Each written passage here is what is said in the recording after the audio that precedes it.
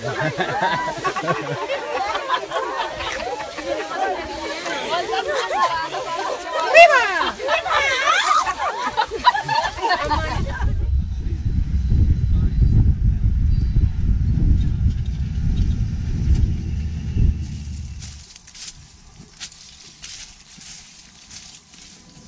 are now in a place called Odesa, which is about 2,000 meters elevation, southern Ethiopia, in a place called the Guji regions. These coffees here are literally the coffees that we use in our cold brew coffee liqueur, grown within the forest, using biodiversity as a tool for creating an amazing coffee. Pretty impressive place.